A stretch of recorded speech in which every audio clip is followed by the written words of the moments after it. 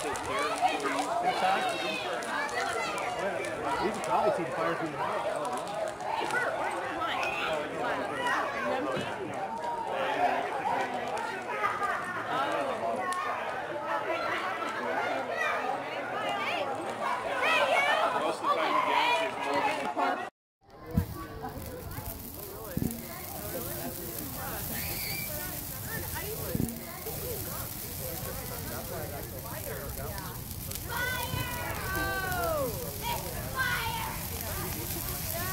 Yo.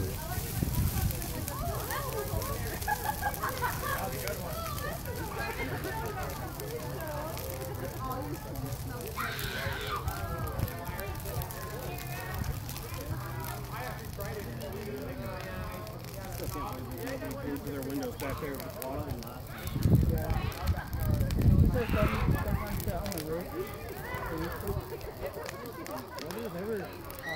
Really attention. It's got to be a cool view from up there. You just, you know, you can't see what's going on under the fence line, but then all the flame shoots up. That'd cool. We'll go check in